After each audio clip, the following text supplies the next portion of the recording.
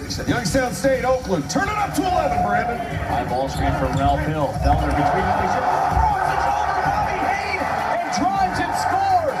What a crossover by Kay Felder. Poor Bobby Hain on that one. Holy cow. He was just a victim of circumstance on that bad boy. That was a bad boy. Oakland winners